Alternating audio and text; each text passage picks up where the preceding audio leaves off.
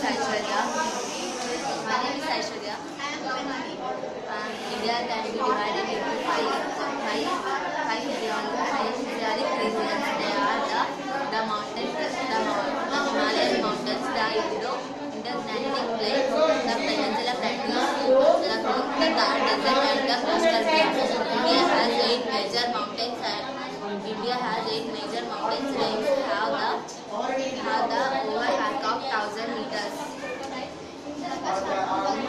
Gracias.